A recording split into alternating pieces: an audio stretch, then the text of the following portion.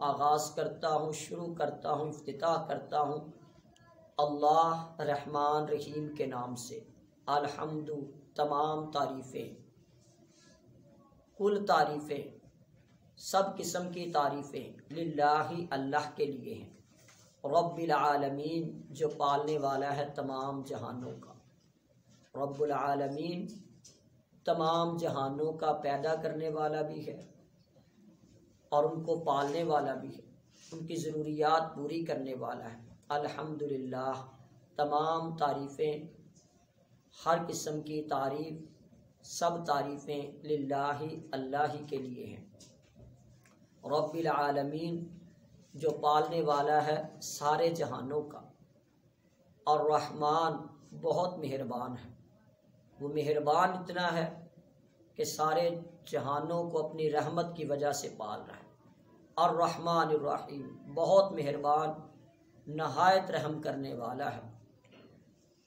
مالکی مالک ہے، یوم الدین روز جزا کا، بدلے کے دن کا، قیامت کے دن کا، انصاف کے دن کا، جزا سزا کے دن کا۔ مالک یوم الدین، مالک ہے روز جزا کا۔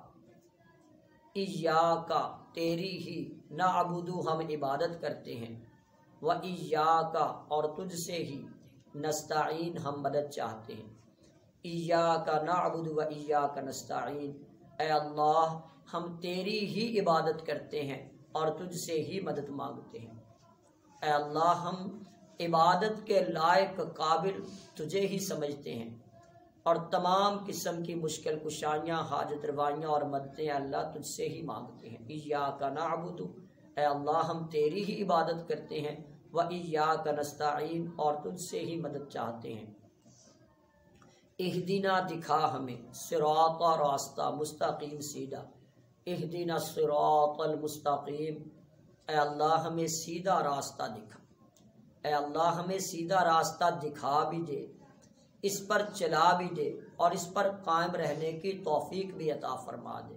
سراط الدین انعامتا علیہ سراط راستہ۔ الدین ان لوگوں کا انعامتا انعام کیا تو نے علیہ من پر، غیر المغضوب، نہ غضب کیا گیا علیہ من پر ولدالین اور نہ وہ جو گمراہ ہیں۔ اے اللہ، ہمیں انعام یافتہ لوگوں کے راستے کے اوپر چلا دے۔ ان لوگوں کے راستے سے بچا لے جن پر تیرا غضب کیا گیا اور ان لوگوں کے راستے سے بچا لے جو گمراہ ہیں۔ سروق الدین انعام تعلیم اے اللہ، ان انعام یافتہ لوگوں کے راستے کے اوپر چلا جن پر تیرا غضب بھی نہیں ہوا اور جو گمراہ بھی نہیں ہوئے۔ آمین۔ اے اللہ، اپنی رحمت سے اس دعا کو ہم گناہ گاروں کے حق میں قبول فرما لے۔